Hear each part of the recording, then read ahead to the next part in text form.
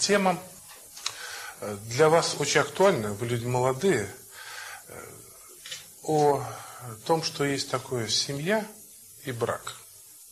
Потому что рано или поздно большая часть из вас в эту таинственную жизнь будут вступать. А современный мир, там, который ограничен для нас, к сожалению, часто телевидением или какими-то там разговорами, газетами, он нам предлагает нечто совсем другое, и, в общем, вот это такое святое понятие уже оно разрушено. И э, я бы хотел с вами еще над тем и поговорить. А, а если у вас какие-то есть вопросы на эту тему, потому что э, те люди, которые э, делают вот эти все там передачи, соответственно, по телевидению, журналы выпускают, они просто обманывают вас и имеют какие-то э, совсем другие цели, чем те, которые декларируют. И это так часто бывает, потому что есть такое понятие, и вам это слово должно быть знакомо, демагогия. Вот. Что такое демагогия? Это когда э, некий человек Э, хочет за счет э, слов скрыть свои истинные цели. Ну, например, вот исторический пример, вы это недавно проходили, э, декрет о земле большевиков. Землю крестьянам. Но за счет этого лозунга люди обманывают и там свобода, равенство, братство. В результате получается концлагерь. А люди туда идут. Таким же образом действуют все секты, например. Они предлагают людям свободу, успехи в бизнесе, в семейной жизни, там вот вы идите к нам, а результатом человек оказывается безвольным рабом в конечном итоге. И так далее. Вот это... Э, почему демагогия бывает успешна? Э, потому что молодой человек, вот как вы, живете в первый раз. Вот меня, старика, уже не так легко обмануть. Вот. И вы вступаете вот во взрослую жизнь и вступаете в определенный мир. Вы родились в определенных условиях. Мы, старшее поколение, родились в других условиях. Мы знаем еще предыдущую жизнь, э, вот такую, доперестроечную там и так далее, и так далее. Вот. Более того, мы еще прочли много книг, которые вы еще не успели прочесть. И потом э, мы еще видели людей, и я со многим был знаком очень близко, они были моими друзьями, они давно уже умерли которые жили еще до революции. Среди моих знакомых был, допустим, один колчаковский офицер, был помещик. Мой дедушка еще служил в лейб-гвардии э, в гусарском полку. Можете себе представить? А я его лично знал. Хотя я был еще маленьким еще, ребенком. Но все-таки я его помню. Я помню, как он ходил, что он там говорил. Поэтому вот очень важно иметь вот эту связь поколений. Почему я говорю, как здорово, что вы встаете? Потому что это традиция. Ну, я знаю, вы так, хорошие ребята, воспитанные. И э, пришел священник и взрослый человек, вы встаете, и, а мы могли бы не встать, но я все равно имею возможность предположить, что вы как меня уважаете. А что меня не уважать? Собственно, я ничего плохого не сделал, ни в чем плохом вами не был замечен, это как-то нормально. Но сам вот этот акт традиционный, что вот взрослый человек встает, приходит, а вы встаете, это очень важно. Потому что это традиция, это передается из поколения в поколение. И вот такие вещи очень важны. И поэтому э, у меня есть что, так сказать, вам рассказать из той ну, прошлой жизни, прошлого уклада, э, и нашего отношения э, вот, к семейной жизни. Э, и чем оно отличается от сегодняшнего? Почему? Потому что если мы эту сумеем вам передать, вот эту традицию, то все будет э, продолжаться в том же русле, как и было. Если не сумеем, то вы станете совсем другим народом. Вот когда Горбачев выступал на последнем съезде партии, меня поразили его слова. Он сказал, за годы советской власти неузнаваемо изменился облик советского человека. Я э, отчетливо понимаю, что он имел в виду совсем другое. Но то, что русский человек превратился в советского, это точно. Это, несмотря на то, что у нас общий язык и как бы общая история, но вот э, современные русские люди, они отличаются от тех людей, которые родились до революции. У них другая психика, у них другие устремления. Но мне передавали вашу фразу, вот, что если бы телевидение дали Русской Православной Церкви, вот все целиком, то через год страну было бы не узнать. Но оно в руках у злодея. Страну можно было бы не узнать, но не через год. А через 10 лет. Вот представь себе такую ситуацию что в нашей стране люди перестали делать аборты, перестали разводиться, и все ли стали работать. Мужчины, а женщины воспитывать детей. То через 15 лет мы стали бы великой нацией. Великой. Просто. Каждый из вас вполне могли моим быть детьми. Моя дочка, она старшая, уже учительницей в школе работает. И вот я у двух девочек, которые меня встречали, спросил, а вы в какой институт собираетесь? Одна говорит, что я в, в таможенного дела, а другая вот по устройству э, туризма. В наше время таких даже не было институтов. И мне даже трудно это как-то представить. То есть вот небольшой срок прошел, там, нас с вами там вот 30 лет от, отличает, а уже совершенно другие институты, другие стремления. Но есть нечто важное, что сохраняет стержень народной жизни. Вот это важнейшая часть. И вот э, один из этих стержней является вот семья. Потому что все-таки семья э, это то, где передаются вот эти самые традиции. К сожалению, мы это констатируем, этот факт, семья разрушается как таковая. И во многих государствах э, Европы, мы хоть и край Европы, но все-таки Европа. Почему? Потому что мы христианское государство.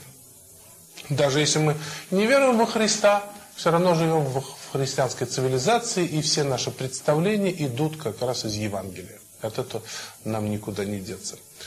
И вот э, во многих государствах, вот в Германии, в частности, во Франции, вот такая семейная жизнь, она практически и сходит на нет. И люди боятся вступать в брак, и люди не хотят рожать детей, и, и так далее, и так далее, и так далее. И вообще все представления об этом меняются. Ну, нормальные люди, они всегда любят свою страну, свой народ. Немцы любят Германию, русские любят Россию, это обыкновенно. И, конечно, вот я умру, так, должен, по идее, раньше вас, и того, что с вами будет, с вашими детьми, я уже, наверное, не застану. Но, конечно, мне бы хотелось, чтобы вот э, страна, которую я люблю, она продолжала именно свой такой исторический путь, а не приходила к умиранию. Наша страна удивительна тем, что это была самая большая в мире по протяженности, по площади и во времени империя. Вот самая большая. Все остальные империи меньше по площади и меньше по времени сосуществования. И более того, несмотря на то, что сейчас некоторые куски надломились так, пока на бумаге, там вот Украина стала вроде бы отдельным государством. Но это уже бывало. То отдельно, то опять вместе. Пока это только на бумаге. Вот на бумаге там подписали, но бумагу можно использовать по-разному. Вот. Может быть, опять все соединится, может быть, нет. Посмотрим. Но, тем не менее, еще достаточно огромное государство. Причем это государство, в нем довольно трудно жить. Потому что у нас климат очень суровый всякие будут катаклизмы. Каждому из нас нужно отапливать жилище. Понимаете, итальянцу столько денег не нужно тратить на то, чтобы отапливать жилище. Нам никому в Европе не нужно столько одежды, сколько нам. У нас одежды в три раза больше, чем у любого европейца. Потом, ремонт дорог. У нас огромное пространство связано дорогами, и нужно нам постоянно ремонтировать, потому что лед разрывает дорожное полотно. Чего нету, допустим, во Франции. Там это все гораздо дешевле. Поэтому, чтобы нам жить, развиваться, быть, ну, может, не великим государством, самым-самым, так сказать, ну, достаточно, то при такой территории, при таком климате, каждому из нас придется трудиться вдвое-втрое больше, чем итальянцу, французу, где виноград растет. У нас не растет виноград. Здесь холодно. Вот, и нужно отапливать и так далее. То есть нам в России все дается трудом. Ну вот. И, как вот сказал однажды император Александр III, у России есть только два союзника. Это ее армия и ее флот. Вот так случилось, э, что у России реальных друзей нет в этом мире. От чего? Естественно. Вот э, такой вопрос задам. Представим себе какой-то человек. Сильный, умный, знатный, красивый и богатый. Какие чувства он будет вызывать у соседей? О, совершенно верно. В самую точку не задумываясь, действительно. И вот такая империя с такой огромной армией, совершенно, так сказать, непобедимой, с таким пространством, с такими ресурсами. Причем э, в Европу обычно приезжали люди богатые, русский человек никогда денег не считал, платили чаевые, думали, ну Россия это вообще что-то такое э, страшно богатое, катастрофическое. Вот. И зависть диктует определенный взгляд и определенное мнение, и определенный возникает комплекс неполноценности. Тем более многие империи, Британская империя, Французская империя, вот, э, потеряли свои владения и за океаном, и в Африке. А Россия все есть и есть. И все вот эти народы, которые сами добровольно вошли в состав России, они оставались здесь. Конечно, это вызывало такое зависть, недоумение. И, к сожалению, вот зависть, к ней всегда примешивается чувство недоброжелательности. И еще один момент. Запад в основном католический, а мы люди православные. Так исторически сложилось. Когда-то мы были вместе э, до XI века, а потом разделились. И причем, что такое раскол? Раскол это значит, э, что тот человек, который в расколе, если ты послушаешь, что он о тебе говорит, там увидишь всякие такие слова. Весьма и весьма осуждающие. Поэтому можешь себе представить.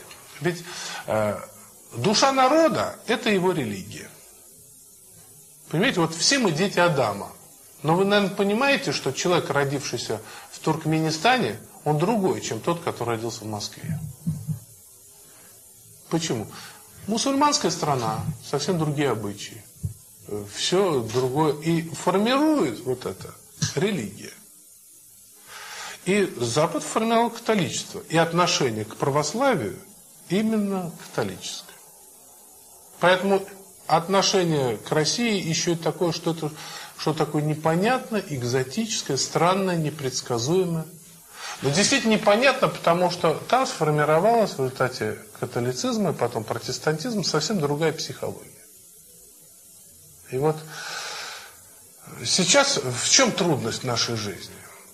Вот те люди, которые занимаются тем, чтобы как-то Россию направить вот в русло такого общеевропейского развития, они наталкиваются на то, что здесь ничего не получается. Потому что Россия совсем другая страна, и совсем другие люди, и совсем другая психология. Вот в этом трудности. И все, что у нас идет с Запада, к сожалению, либо, как в лице, вот я смотрю на этот блистательный ряд, Пушкина не вижу, а вот он, вот, Пушкин Александр Сергеевич, вот э, они сумели вот в, в ключе западноевропейской культуры создать русский мир. Они это переварили.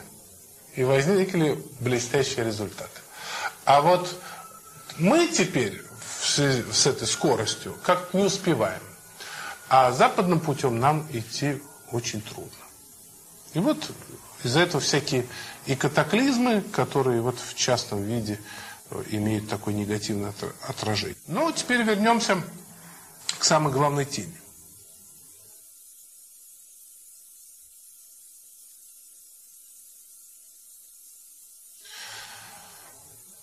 Кто-нибудь из вас, конечно, Библию из вас никто не мог прочесть, это очень тяжелый труд, но хотя бы первые две-три главы.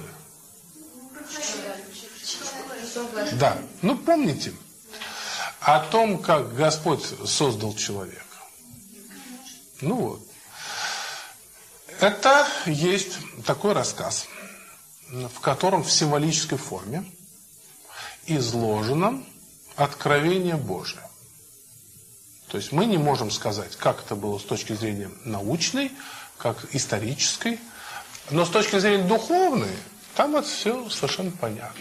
Из этого текста ясно нам, что, во-первых, человек создан для брака, что почему вот, например, кто-нибудь из вас задумался над таким вопросом, вот почему существуют мужчина и женщина? И вообще, зачем это? Не лучше ли бы, чтобы человек размножался клонированием? Представляете, не было бы зависти, все были люди совершенно одинаковые.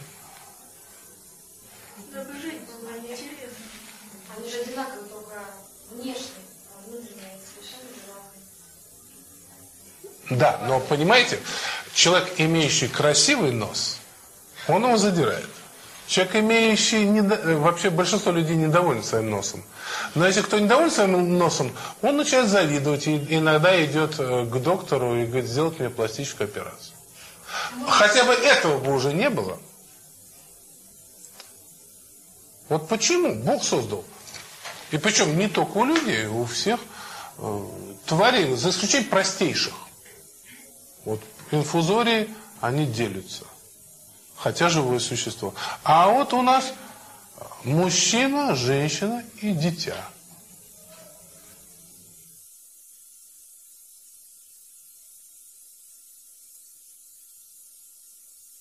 Не задумывались? А на самом деле в этом есть глубокая причина. И сказано, вот в том рассказе это подчеркивается. Потому что человек создан по образу и подобию Божию. А Бог есть троица. И человек троица.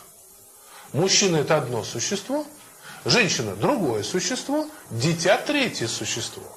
Вы понимаете, что ребенок это не мужчина и не женщина. Это совершенно другая психология. Вот мы в пединституте проходили возрастную физиологию, психологию. Это совершенно там другие закономерности. И свои циклы существуют.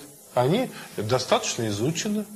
Вот. И кто этого не знает об этих циклах, он начинает лупить там трехлетнего ребенка, потому что он не слушается. А это просто глупо. Подожди э, там 8 месяцев или полтора года, и все пройдет. Это, у него такой период определенного психического развития, который нельзя э, ремнем как-то изламывать. Вот и все. Просто возьми учебничек, почитай и поймешь. Вот. И э, вот в чем дело. Человек ведь создан Богом. Может быть, вы слышали о том, что Бог есть любовь. И э, любить можно только объект для тебя некоторым смыслом внешний. Потому что любовь к себе это не любовь, а себялюбие или там эгоизм, и в крайней форме эгоцентризм. Вот. И семья существует для реализации вот этого. Семья существует как школа любви. Поэтому, если семья полностью будет разрушена на земле, то и есть возможность, что любовь полностью исчезнет. Если исчезнет любовь среди людей, то закончится и жизнь. Почему? Потому что будет злоба и ненависть. И люди сами себя уничтожат. Вот, может быть, вы слышали Э, такое выражение «взявший меч от меча погибнет», например. Или, например, сколько веревочки не виться, конец ей будет. Вот и так далее, и так далее. Это есть, вот первое, это есть и Священное Писание, а второе, это народная мудрость. Но Священное Писание тоже вошло в народную мудрость. И поэтому для сохранения жизни и для сохранения вообще человеческого рода любовь просто необходима. Есть в Писании очень такие слова, даже страшные. Господь говорит, когда приду второй раз, найду ли веру на земле? А потом сказал, что по причине беззаконий во многих охладеет любовь. И на самом деле только любовь есть движущая сила. Вообще какого-то созидания. Но про любовь в земле, она дает хороший урожай. Любовь к животным, она дает вот хорошее плодовитое потомство – Любовь вот к детям, она дает хорошего педагога. Понимаете? Вот педагог может быть очень умный, очень толковый и знать все методики. Но если у него нет любви к детям, ничего не выйдет. Никакой педагогики. И мама. Она может прекрасно играть на фортепиано и владеть 14 языками. Но если она своих детей не любит, она мать плохая. А мать самая простая и не ученая, но если она любит деток, она их воспитает лучше. Почему? Она воспитает их в любви.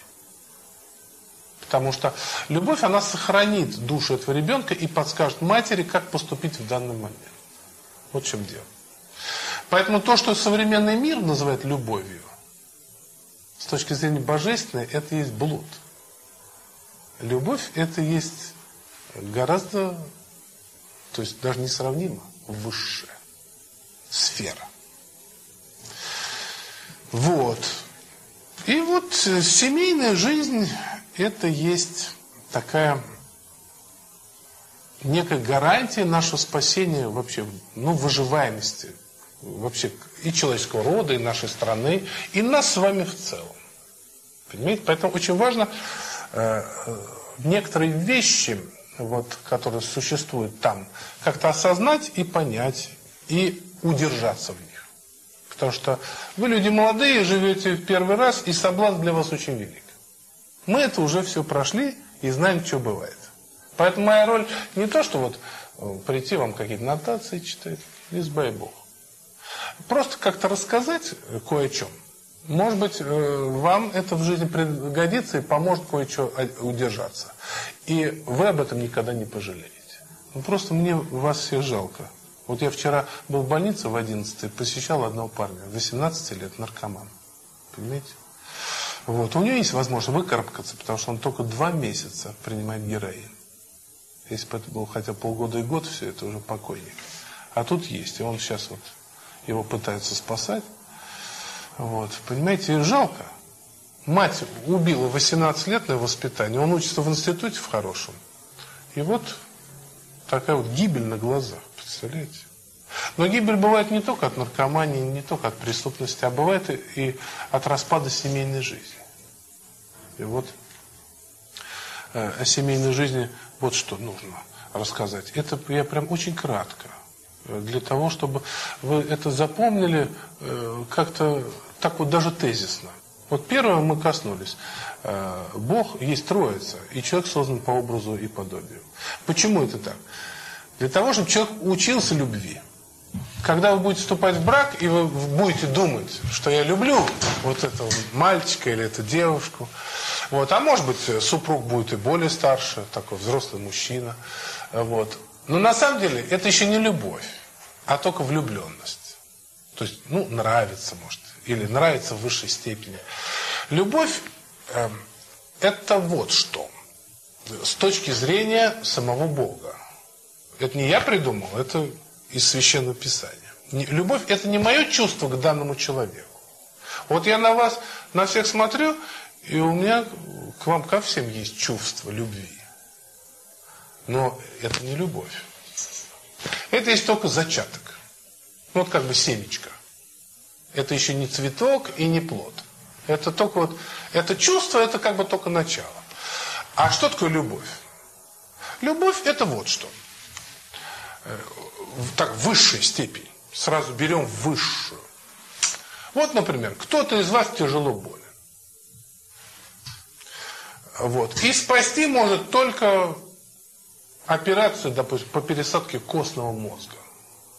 Или, допустим, почку.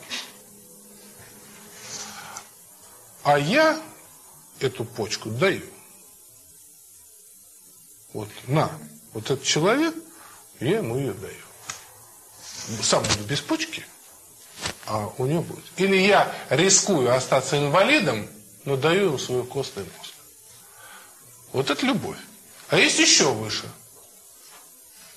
Это вот я вижу, кого-то бьют, и я вступаюсь, и убивают меня в этой драке. То есть я для того, чтобы его спасти, его не били, я даже жизнь свою отдаю. Вот именно, вот человек, вот посторонний мне, он мне не мать, не внук, а вот, вот это есть высшее проявление любви. Понятно, что это совсем другое, чем то, что мы испытываем к тому, кто мне нравится. Но брак существует для чего? Чтобы вот из этого семени вырастить вот то, вот ту готовность. Готовность идти на войну не из-под палки, а именно вот защищая свою жену, своих детей э, и, так сказать, соседей своих. Понимаете, вот какая в браке ставится высшая задача. Все остальное второстепенно с точки зрения Бога. Почему? Ну, все сейчас говорят, вот главное здоровье. Ну, хорошо, главное здоровье, но все, все умрем. Поэтому здоровье не может быть главным, это временно. Вот. То, что временно, никогда не может главным быть. И также и с учебой. Вот человек начинает учиться, интересуется какой-то наукой, поступает в ВУЗ, идет дальше, дальше, дальше, дальше. Опять цель какая? Узнать истину или цель получить деньги? Хорошо, если получил деньги, э, то получил. И что дальше? Работать, постоянно работать, получать больше денег. Хорошо, больше, больше, больше. Лучше обеспечивать свою семью. Хорошо. Все свои потребности выполнять. Вообще все деньги заработал. Нет. И что дальше? А всегда мало денег. Никогда не бывает много. Денег всегда мало. Сколько бы их ни было. Хочется еще, еще и еще. Между прочим, на свете был такой человек, который, э, представьте себе, он был самый богатый и самый умный в мире. Это был такой царь Соломон. И когда он этого все достиг, он сказал, все это суета. Самое большое количество самоубийств. Знаете где, в каких странах? Швейцария и Швеция. Очень большой уровень жизни. Скучно. Приехали к нам, и холодно, и страшно, и работы нет, и постоянное колебания. Страшно человеку съехать с определенного уровня на низший. Вот скучно. Вот в жизни это все, это для нас, а для них нет, для них это трагедия. Вот в чем дело. Поэтому вот то, оказывается, к чему стремить, вот все потребности, это путь к самоубийству. Вот он, результат статистический. Материальный достаток полный, вот не просто хороший, а полный, он приводит, оказывается, к разрушению души. Парадокс. А знаете почему? Потому что человек – существо духовное. Он никогда не насытится материальным. И вот поэтому дьявол и ловит его. Манит материальным, вот тебе телесное удовольствие, вот тебе деньги. Вот, а в результате в чем приходится расплачиваться? Пустотой души. Но они выходят тоже невозможно. Ни один человек не может жить без денег, без потребностей, без каких-то. Не может. Ему. Может. Но все дело в приоритетах. Да. Без воздержания невозможно. Вот без воздержания. Никак. Вот если человек на, направлен только на приобретение и потребление, то он, человек роет себе могилу. Поэтому нужно обязательно уметь сдерживаться, обязательно уметь довольствоваться тем, что есть у тебя сейчас. И всегда стремление духовное ставить во главу угла. Вот это выбирать. Вот, вот что важнее? мы один раз, ведь хочется, чтобы все было. И на канал съездить, там, купить себе машину. Можно поставить себе цель посетить все страны. Ну хорошо, посетил. А можно? Вот мой отец, например, никогда в жизни в Петербурге не был и умер. И ничего, прожил прекрасную жизнь. Поэтому, если есть возможность, замечательно. Но эту возможность нельзя ставить целью жизни, потому что это ничего не даст. Гораздо приятнее осознать, что есть некая такая страна, в которой бы неплохо быть, но вот у меня не получится, хоть, хоть какая-то некая мечта. Вот. То, что временно, никогда не может главным быть. А вот э, мое духовное состояние, о том, как я умер, либо меня повесили за мои преступления, либо я пулю в голову получил, потому что я занимался бизнесом, либо там просто я по пьяному делу полез в реку и утонул, либо я вот вчера э, милиционера застрелили за то, что он преступника хотел остановить вооруженным пистолетом. Совсем разная смерть. Результат один. И тот человек умер, и тот. Но этот-то на преступника пошел, его убили. А, а этот выпил, и у него там сердце остановилось в реке в холодной. Разница велика. Почему? Потому что, ну, вы знаете, что душа бессмертна, да? Ну, вот. Поэтому мы здесь живем небольшой период времени, а все остальное будет там. И наша жизнь здесь такая же подготовка к вечности, как внутриутробное развитие, подготовка к рождению ребенка и начало жизни земной. Так что цель брака – это есть любовь. Чтобы ее выращивать вот в таком плане. Чем, знаете, отличается человек от животного? Разумом. Еще чем? Речь, труд. Но труд животные тоже трудятся. Да, душа у человека другая, правильно. Это мы сказали, да. Но животные тоже немножко могут производить. Строят дома себе. Насекомые даже, вот термитники строят огромные вам. А? Да, да, да. Ну, многие, так сказать, устраивают себе. Так примитивно. Вот у меня на даче ежик, он там такое гнездо себе вьет все время. Вот. Но вот еще есть принципиальное отличие. Просто сама наша тема, она подсказывает ответ. Брак? Да, брак.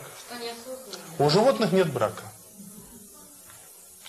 Мать, кошка, выращивая своего котенка, она перестает воспринимать как своего ребенка. Человек всегда знает, кто его семья. Ну, за исключением, может, сирот. Но сироты это же аномалия. Вот в чем дело. У человека есть брак. Это есть фундаментальнейшее отличие. Поэтому, если человек теряет брачную жизнь, или ведет ее не как человек, а как животное, он сразу становится на, на низшую ступень развития. И это отражается на всем. Вот представьте себе, вы какой-то очень крупный начальник, и вам нужно какому-то своему подчиненному дать очень важное ответственное задание. И у вас есть два человека кандидатура, которые по внешним параметрам одинаковы. Но про одного вы знаете, что он изменяет своей жене, а про другого вы знаете, что он хороший семьянин. Какого вы выберете? Понятно. Почему? Надежный. Совершенно верно. Если человек изменяет своей жене, то что с него можно взять, если возникнет какая-то критическая ситуация? Человек, изменяющий своей жене, он уже гнилой. Почему, смотри, какая жена? В семье такое, установка такая, что он просто вынужден это делать. Там жена Во-во-во, хорошо, хорошо, хорошо. Сейчас мы об этом, обо всем поговорим. Тем не менее, какая бы обстановка ни была в семье, и какая бы ни была плохая жена, и как бы мы, он, мы согласны, что он не очень удачно женился, как этот, тем не менее, мы выбираем того, кто не изменяет. Почему? Потому что сама, само слово измена. Если человек переступает что-то в своей душе, то он уже как бы вот в сторону измены дорожку протоптал. Понимаете? Вот, опять же, два человека принимаем на работу. Один трезвенник, а другой, мы знаем, пил, но завязал. Кого возьмем? Трезвенник. Понятно. Почему? Завязал, да, молодец, но риск есть. А здесь риска меньше. И трезвенник тоже может начать пить, но все-таки меньше. Вот в чем дело. Но вот этот критерий, ведь он же какой? Не технический, он нравственный. Понимаете? Вот это очень важно. Вот теперь э, по поводу измен. Вот, допустим, да, вот женился неудачно. Отлично. А вот, допустим, так вот, родилось двое детей, мальчик и девочка. Девочка удачная, а мальчик неудачный. Например, у мальчика на левой ножке сросшиеся пальчики. Или, например, он глухой. И что? Некоторые мамы, ну, в согласии с папой, оставляют таких детей в роддоме. И тогда их покупают сейчас, слава богу, американцы, шведы. Неудачный ребенок. А бывает и так. Например, до 11 лет мальчик был хороший, а потом стал непослушным. И что теперь с ним? Разводиться? Да, нам страшно, смешно, да? А если неудачная жена? Значит, разводиться можно? Ну почему? С женой можно, а с ребенком нельзя. А если он неудачный? Что-то, вы знаете, как-то и учится что-то плоховато на четверке. Можете его в детдом сдать? Даже у тебя будет сын срабатывать, что твой, твой ребенок как ты можешь... А жена не твоя? А жена, ну, это же не здоровье. Вот, вот вы и попались. А на самом деле должно быть совсем не так. Это великое чудо, что родившиеся в разных семьях, иногда в разных государствах, иногда даже разных рас люди, там черный, белый, желтый, вдруг соединяются в браке. И как на это Бог смотрит? С точки зрения церкви, отец-мать – это родственники второй степени. А муж и жена – это не родственники. Это вообще одно, одно целое. Оставить жену или оставить мужа – это разрубить себя пополам. Поэтому раньше говорили, это моя вторая половина. Ну, реже. Вот. Но раньше еще было вот что. Если я кого-то приглашаю в гости, не приглашая его жены, то он либо не шел, либо вызывал меня на дуэль, либо прекращал со мной всякое общение. Почему? Потому что он оскорбил мою жену. Понимаете? Кстати, а чего, сейчас такого нет. Может быть, это и правильно. Но на самом деле в том, что было, заложена очень правильная мысль. Потому что сейчас мы больше удалились от Бога, чем тогда. Потому что муж и жена для другого – это продолжение меня самого. Конечно, это не сразу. Вот мы только соединяем и начинаем вот это все выращивать, укреплять. И раньше вот семье служило все. И родственники. Например, жена не могла, допустим, мужа бросить и приехать к маме опять. Ее никто не взял. Тебя выдали, ты там живи. Если хочешь, пойди в лес и гуляй. Вот, и никто бы это не понял. Вот. А, и государство. Бывали разводы. Примерно вот в 19 веке один на 100 тысяч человек. На 100 тысяч семей. Сейчас из трех браков два развода. Понимаете? Это о чем говорит? Не о том, что люди перестали стремиться к семье. Всякий психически нормальный человек, и мужчина, и женщина, к этому стремятся. Почему? Ну, мы так созданы Богом. Но люди стали бояться вот этого подвига, который требует семейная жизнь.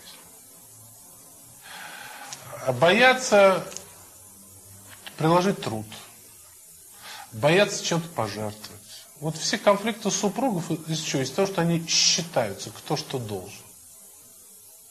И вот это превращается э, в то, что ту, ту маленькую еще любовь, которая возникла, они сами ее убивают.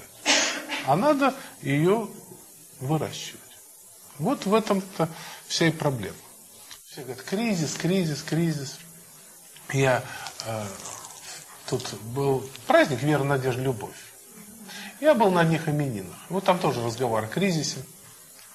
Сидим, значит, на столе стоит армянский коньяк, шампанское, икра черная, красная, значит, бананы, гранаты, там салаты, мясные, рыбные. Вот, и вот люди сидят и обсуждают кризис. Да, а вот я когда учился в школе, э, моя мама не имела возможности дать мне 15 копеек на завтрак. Поэтому учительница истории однажды подошла ко мне с братом, потому что мы пришли в буфет школьный, э, хлеб стоял на столах, черный. Мы взяли по куску черного хлеба, намазали горчицей и сели, стали есть. И она говорит, а что у вас нету э, там, на пирожок? У нас еще были пирожки с капустой, с повидлом и кофе такой. Ну, условный кофе с молоком. Вот. Нет, и вот с тех пор нам э, давали такие талоны бесплатные. То есть ты даешь такой талон, и тебе дают кофе и два пирожка. Вот мы так вот жили. И тогда никто не говорил о кризисе. Понимаете? Вот. И было вот, за весь период моего детства, вот, с 7, с 7 лет по 10 класс, у меня было два пальто. Вот. Одно, значит, особенно, первое, вот, носил, оно было куплено сразу таким образом, что рукава были вот такие, и они подвор, подвернулись внутрь. А потом каждый год оттуда выпускалось. Понимаете, это все вручную подшивалось. Таким образом, я его, это пальто носил. А потом его, это пальто носил мой младший брат. Вот. И о кризисе речи не шло. То есть этот кризис, на самом деле, он вот здесь.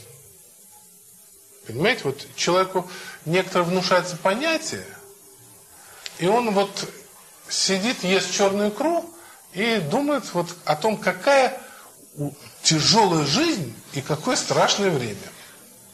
Но этот страх, он на самом деле и время, вся его тяжесть, она вот только здесь. Поэтому, если у вас будет настроена семейную жизнь, как на маленький, естественный, вполне понятный подвиг, что обычно брак как люди вступают, я хочу быть счастливой.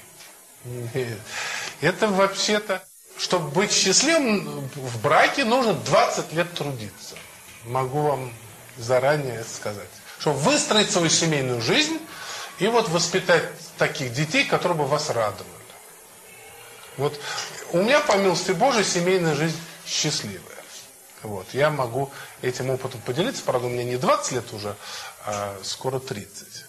Вот. Но как это э, все, так сказать, происходило. И очень было много трудностей, и, так, и тем не менее. Но это не только удалось сохранить, но и даже принесло плоды. Почему? Но мы как-то дочкой довольны. Вот часто родители бывают недовольны детьми и страдают от них. Вот к нам в храм постоянно люди приходят и жалуются, и просят, помогите нам, что нам делать с детьми. Вот. А, а со, у нас такого как-то нет. И это тоже радует. Человек, который не вкушал семейной жизни и не знает этого строительства.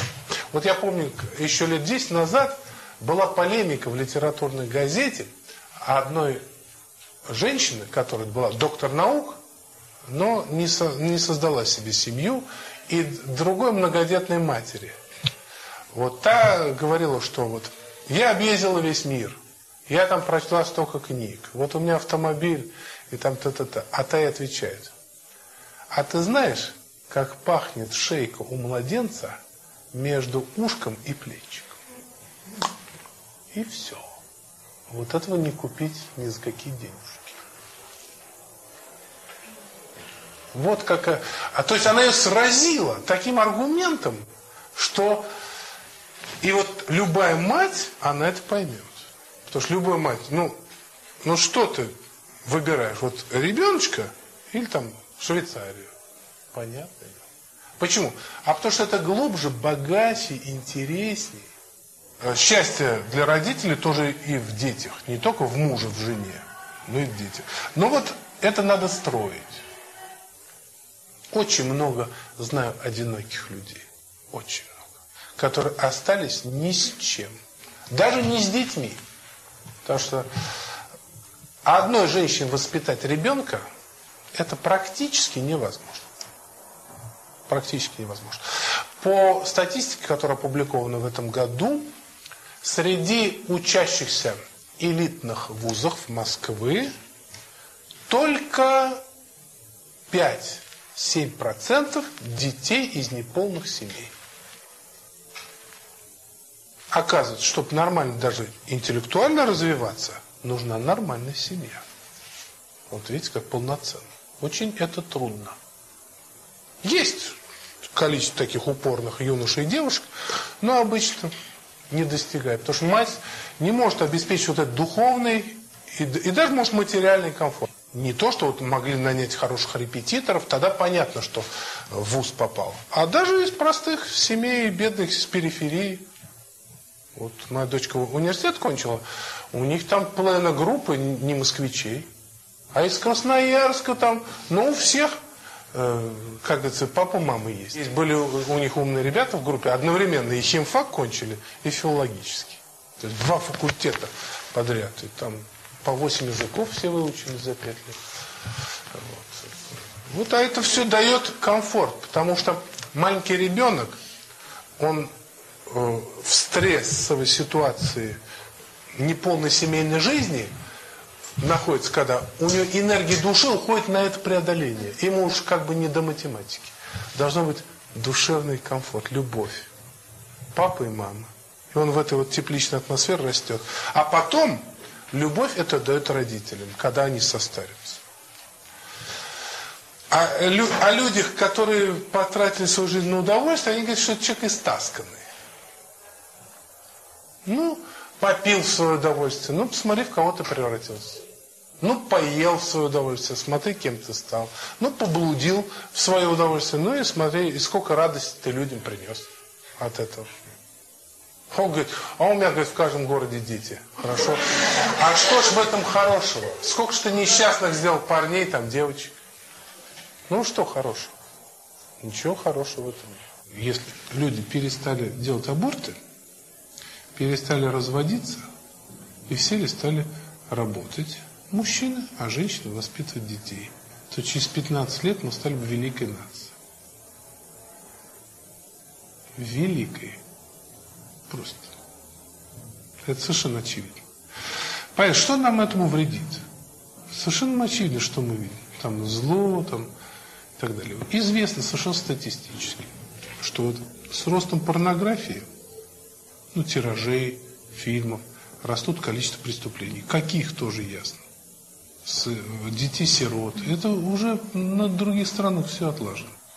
И еще один аспект брака – вот мы сейчас коснулись детей. Сейчас вот внушается мысль э, всем, что дети это зло. Поэтому ну, нужно одного родить, как бы, чтобы не скучно было. Ну и как, чтобы брак был полный. Надо и это попробовать, и это попробовать. Ну а от всех остальных э, всякими путями надо избавляться. Либо до того, как они родились, либо вообще препятствовать тому, чтобы они зачались. А что это происходит? Ну, надо жить для себя. Ребенок займет вашу площадь. Он вас объест. Уже не купишь столько портфель. Ну, понятно. И люди для того, чтобы поддаваясь вот этим внушениям, они действительно так и начинают жить. Ну, а потом результатом этого бывает, конечно, расплата. Потому что, ну, как вы думаете, вот у, у нашего народа очень ну, так развито чувство справедливости. Поэтому наши люди, вот русские, они не понимают, почему нужно отменять смертную казнь. Если человек убил 8 человек, надо его тогда убить. Это было бы справедливо. Если мама делает аборт по справедливости, что с ней надо сделать? Естественно, ее надо убить. Раз она убила своего ребенка, так и ее надо. За это никогда не убивали.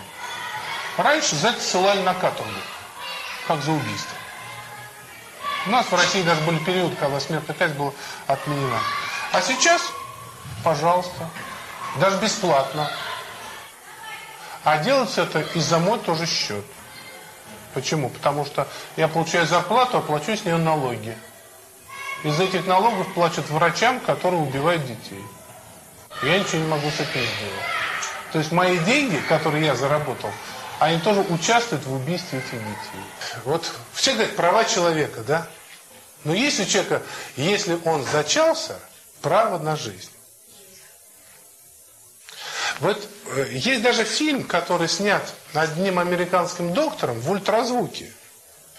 Как ребенок, то есть аборт снят на кинопленку. А вот много иметь детей это трудно. Вот у меня два брата, у одного трое детей, а у другого восемь. И э, тот, у кого трое, тоже трудно ему жить, но гораздо легче, чем тот, у кого восемь. И это естественно. Но нельзя сказать, что один более счастлив, другой меньше. Да, тот и теснее живет, и так далее. И автомобиль у него в более развальном состоянии. Ну и так далее. Но, тем не менее, мы все втроем там матери помогаем жить. И... Поэтому, если человек готовится к подвигу, вот у него такая в голове установка, то он в этом направлении движется. Если он готовится к тому, чтобы в браке быть счастливым, то у него совершенно другая остановка. Вот давайте теперь поговорим о предохранении. Представьте себе, допустим, ну, я люблю, допустим, очень копченую рыбу. Я съел килограмм копченой рыбы. А и еще как. А больше не могу.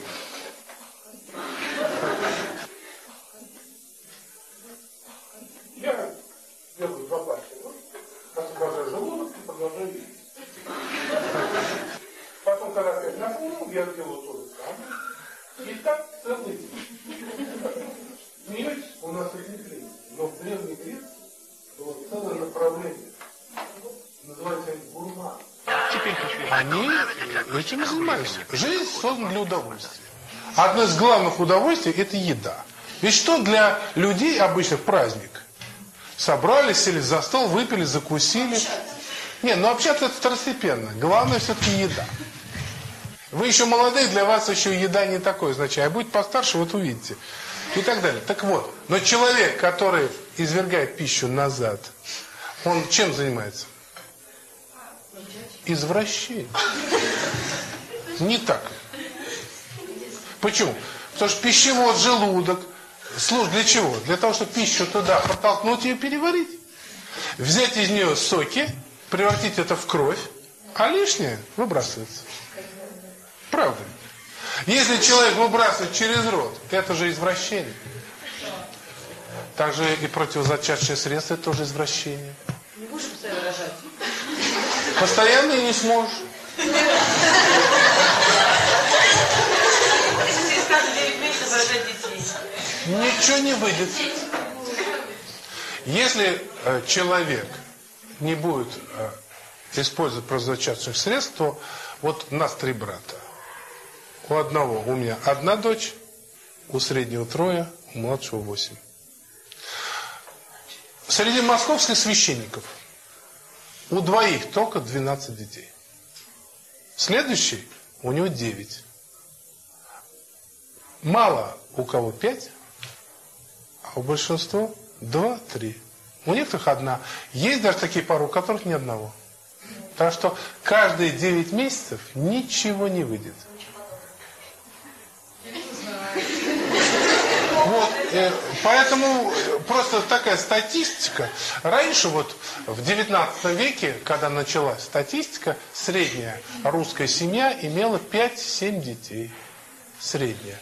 Отдельные бывали случаи даже до 20.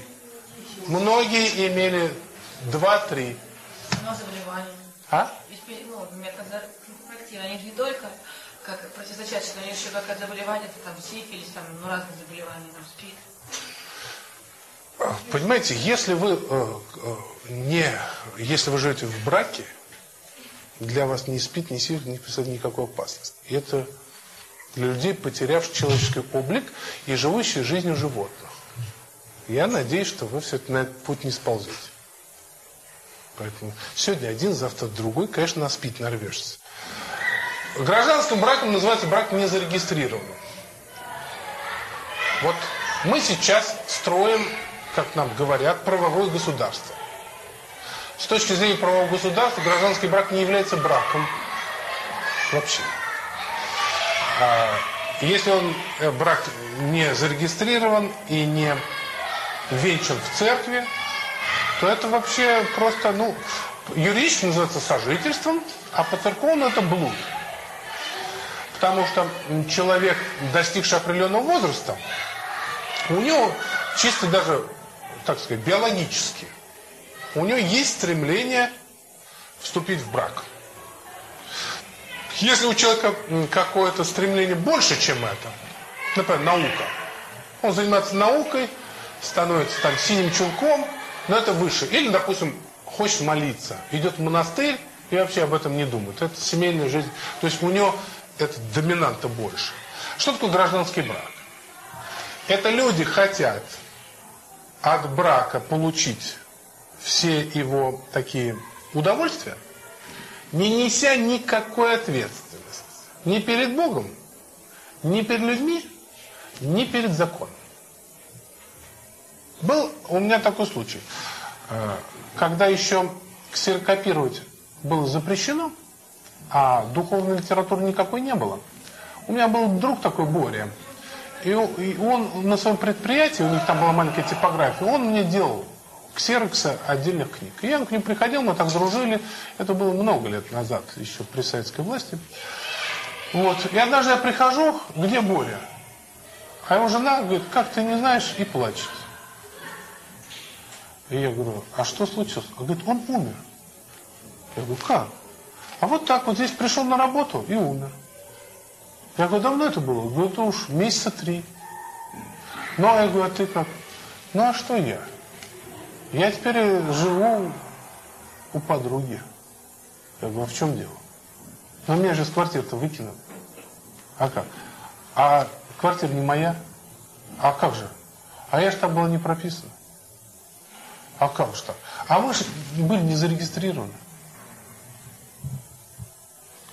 Они прожили 20 лет. И все. И она осталась ни с чем. Каждому, кто к нам в храм приходит и говорит, вот, а штамп в паспорте играет какую-то роль? Я говорю, у тебя паспорт с собой, мы можем проверить. А если с собой, я говорю, давай. Листаю, нахожу страничку, где написана московская страница, московская прописка. И начинаю ее вырывать. Эй, стой! Я говорю, какая разница штамп в паспорте? Прописан ты в Москве, в Токио. Какая разница? Сейчас вырву. О, нет, не надо. Ага. Московская прописка играет роль, штамп в паспорте.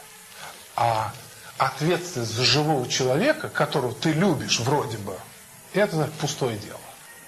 Извините, здесь какая-то демагогия. Совершенно верно. Да, брак это не штамп в паспорте. Но штамп в паспорте это есть свидетельство двух людей перед всем народом, что мы муж и жена. Я не какая-то развратная особа, это мой муж. Если вы не верите, вот бумага. Это мое жилье. Если вы не верите, вот бумага. Вот я здесь прописан. Это очень важно. Если штамп не играет роли, разорвем паспорт, разорвем пенсионное удостоверение, разорвем проездной билет, наконец. Какая разница? У меня есть проездной билет, я его разорвал, я его купил. Пропустите меня в метро. Нет, покажи бумагу. Вот и все. Поэтому как мы можем относиться? Вот как к демагогии, как к попытке обмануть окружающих саму себя. Но Бог не обманешь. Поэтому человек, вступивший в такой гражданский брак, он несет все, всю ответственность за свой поступок. Понимаете, это грех. Еще есть вопрос? А? Смотря какой расчет.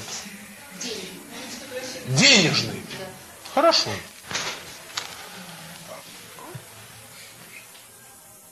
Если присутствует исключительно денежный вопрос, только в браке, то, конечно, для цели брака это есть очень такое, ну, как бы, ну, недостаточное явление. То, что мы помним с вами, мы говорили, цель брака все-таки есть любовь. Если есть любовь к деньгам, то из этого не вырастет любовь между супругами. Вырастет хороший бизнес, соединение двух кланов там и прочее, и прочее. Даже для государства может быть. Вот раньше ради пользы государства отдавали дочь там за такого-то государя, за внука такого-то государя и так далее. Польза государства. Но не всегда возникала. То есть люди, э, живущие монархической жизнью, они приносили себя в жертву своему народу, пользы своего государства.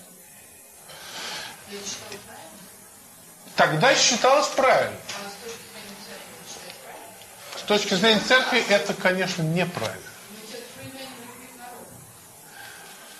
Да, но брак имеет целью любовь между собой. И, кстати, бывали удачные случаи, ведь это тоже зависит от воспитания. Вот дело в том, что раньше часто бывало так, что муж впервые видел свою невесту, только когда уже приводили в церковь венчаться. Понимаете, человек это событие ждал. И, конечно, уже начинал, вот, ну, все его существо, вся душа, ну и тело тоже, начало трепетать. И, конечно, вот с этого минуты, как бы с этой секунды начиналась эта любовь. И вырастала. И такие случаи бывали, такое благополучие. Вот, но если только деньги, это, конечно, слишком убого. Опять же, почему? Потому что брак имеет свое разрешение вечность. Вот даже со смертью одного из супругов, брак он как бы продолжается. Жена э, не выходит замуж, ходит на его могилу, молится о нем, общение продолжается. Не телесное, но духовное. Понимаете, а когда деньги это чисто временное явление. Можно и разориться. Поэтому ради денег, когда деньги ставятся выше, чем любовь, это, конечно, неправильно. Потому что сам Бог сказал, нельзя служить одновременно двум господам, Богу и мамоне, то есть деньгам. Бог есть любовь, поэтому тут всегда. И вот очень часто соображение выгоды тоже – вот, допустим, муж не способен много зарабатывать, а жена его пилит, пилит, пилит 20 лет, пока он не сбежит. Вот, и она, вот я часто таким женам, э, тоже в церковь приходит, э, говорю, ну хорошо, вот ты говоришь, он мало зарабатывает. А если он сейчас от тебя уйдет и будет платить только алименты, это тебе будет лучше так? Вот ты э, при твоих возможностях, возрасте и красоте сможешь второй раз повыгоднее выйти. Да нет, вряд ли, я это не хочу. Хорошо, вот ты его пилишь, э, но вот он сейчас сбежит и будет алименты платить, не будет скрываться, этим твой семейный бюджет лучше станет? Нет. Я говорю, ну а зачем ты тогда это делаешь? Уж потерпи, что есть.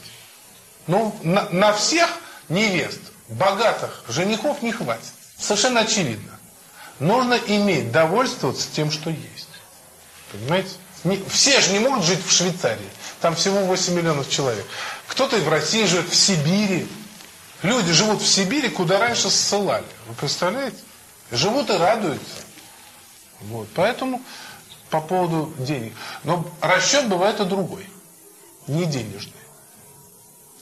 Расчет бывает раз, разумный. Вот, например, Раз, два, три, четыре, 5, 6, 7, 8, 9, 10, 11, 12, 13, 14, 15, 16 невест у нас здесь сидит. Какую бы я выбрал? Может быть. Я уже настолько стар, что могу любую выбирать. Но, тем не менее, есть критерий. Совершенно. Какая будет мне хорошей женой? Да. Вот интересно. Без всякого еще личного знакомства. Возьму анкеты. Всякие. Семейную, медицинскую. Посмотрю, как учится. Посмотрю, в какой институт ходит, хочет.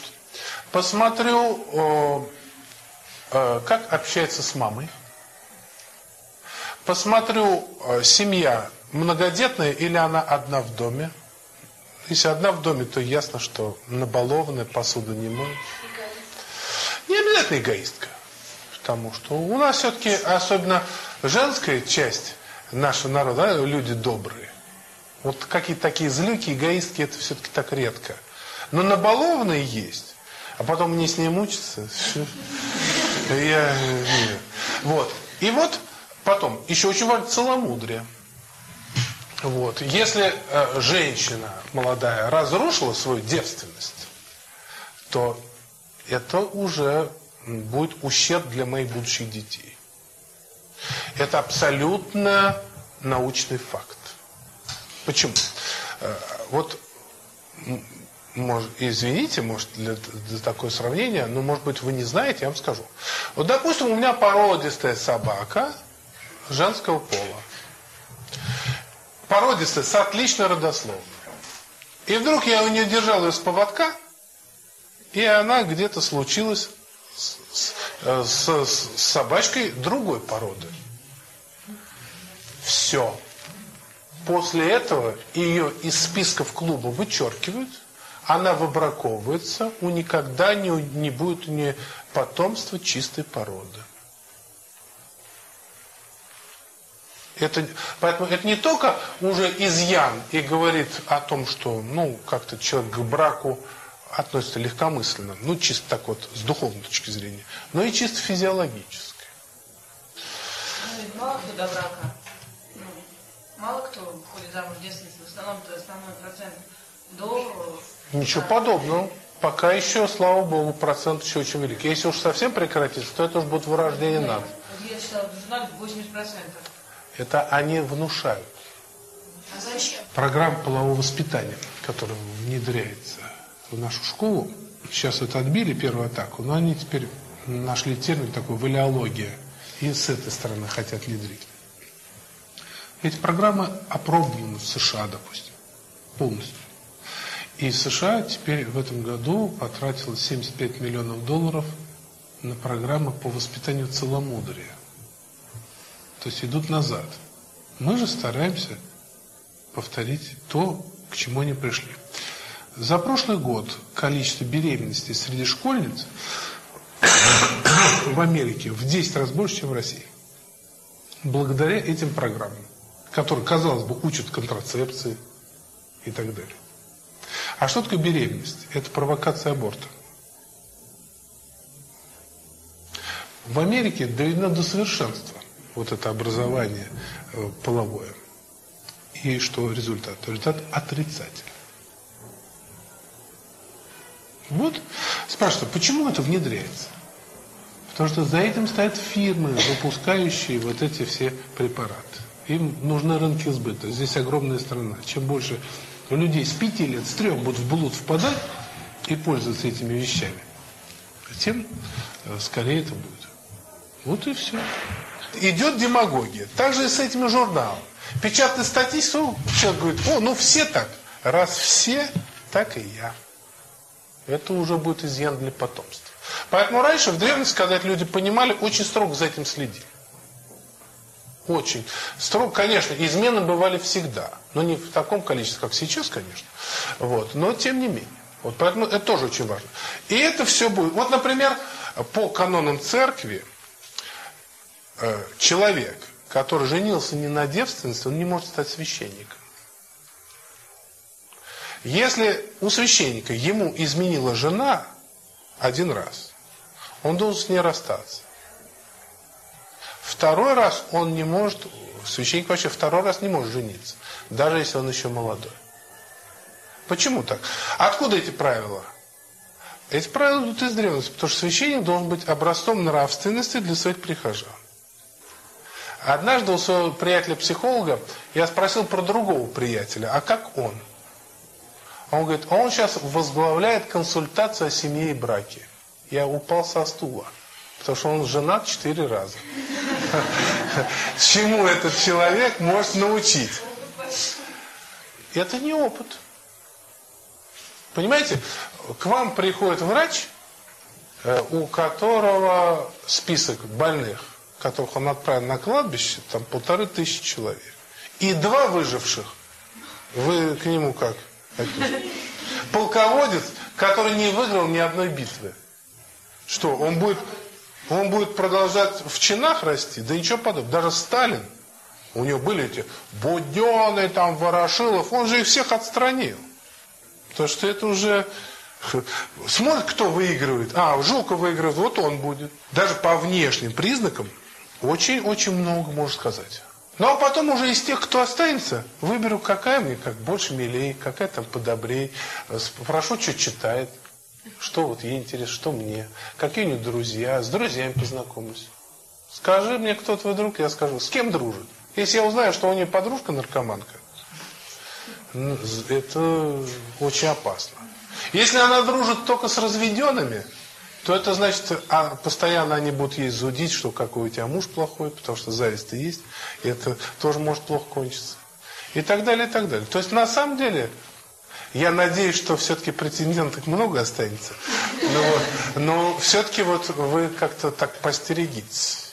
И вот у нас в семинарии, когда я учился, там тоже, я поступал уже в семинарию человеком достаточно зрелым, женатым, у меня уже дочка была, вот, а половина там, даже больше половины, две трети ребят таких молодых. А священник, если он не женат, э, то он уже жениться не может. Поэтому, прежде чем принять священный сан, нужно жениться. Либо идти в монастырь, становиться монахом. Монахом не все хотят становиться, и не все могут. Это путь особый. Вот, поэтому когда э, уже идет к последнему курсу, старается найти себе невесту. И понятно, что за такой короткий срок найти и вдруг полюбить это невозможно. Поэтому большинство выбирают по совету и по расчету. Понимаете? Но расчет не денежный. А один даже женился так. Вот сейчас из Троицкого собора первая какая выйдет, я ей сделаю предложение. Сейчас у них уже 8 детей. Такое тоже будет, но это уж очень рискованно. Это уж э, дан Бог ему послал хорошую девушку. Вот. И вот э, выбирает именно по таким критериям. И причем привозит ее к своему духовному руководителю, он с ней беседует, спрашивает. Потом будущая супруга священника исповедь проходит исповедуются, вот, узнают ее внутренний содержание, а потом, а потом уж стерпится, слюбится, потому что как живут вместе и, и так далее, и так далее. Вот, и в нашем приходе тоже, вот подходит ко мне парень такой очень скромный, батюшка, вот, я, может, посоветуйте какую невесту? Я говорю, давай посоветую. У меня есть одна на примете, но я начну с нее. Если э, я у нее спрошу, пойдет ли она за тебя замуж, тогда я тебе ее покажу. Подхожу к ней и говорю, вот за такого пошла? Да вообще пошла. Я говорю, ну хочешь познакомиться? Давай. Я ему потом говорю, вот, вот это. Он смотрит, да, хорошая. Я, правда, раньше не замечал. Вот такая она тихая, скромная. Я говорю, вот и вот те браки, которые я сам совершил, они живут не просто хорошо, они живут идеально. Они живут гораздо лучше, чем я жил. Потому что мы первые шесть лет с женой все время там выясняли отношения, там у нас споры всякие были там об искусстве, там, ну, в общем, ей одно нравится, мне другое, там она, у нее одни друзья, у меня другие. Пока это все, шесть лет мучились, а потом как-то это все стало по-другому. Последние 20 лет уже хорошо. Вот. А у них все идеально. Понимаете? Просто идеальные отношения, просто радуешься за них. Вот, оказывается, расчет бывает разный. Вот. Еще есть вопрос? Нету больше. Ну, это хорошо.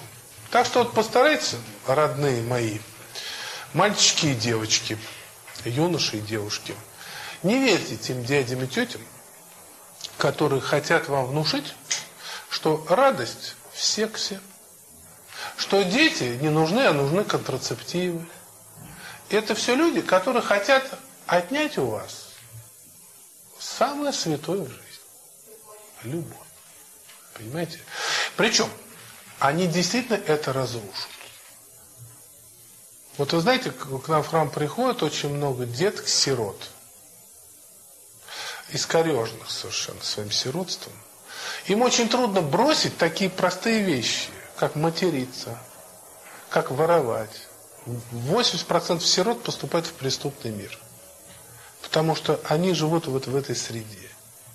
И вот вам от той среды, которая сейчас опустилась вот таким черным облаком на нашу Россию, то, что вот телевидение чем пропитано, вот эти люди, не то что, а не обязательно они вот, ну, всех нас ненавидят там и так далее, и так далее. Но нет, от чего это происходит? От того, что вот вы никогда не замечали такую вещь. Вот за столом вдруг окажется один не пьющий. И все начинают его уговаривать. Или, допустим, человек сыт, а ему говорят, ну съешь еще вот это, съешь вот это. А чего это происходит? От того, что когда человек, вот, допустим, не пьет, тот другой, который пьет, он испытывает перед ним комплекс неполноценности. Ему обязательно хочется его поставить на свой уровень. Это опять причина в зависти. И вот развращенные люди, они завидуют целомудрию. Они завидуют чистоте. И не, даже не осознавая, они ненавидят ее. Поэтому хотят как можно больше людей ввести вот в эту свою вот эту черную кашу. Чтобы себе оправдание такое. А что? Все такие. Ничего, ничего особенного. Потом все аборты делают. Ой, какие глупости. Муж не нравится, заведи себе партнера. Понимаете, вот все. А что?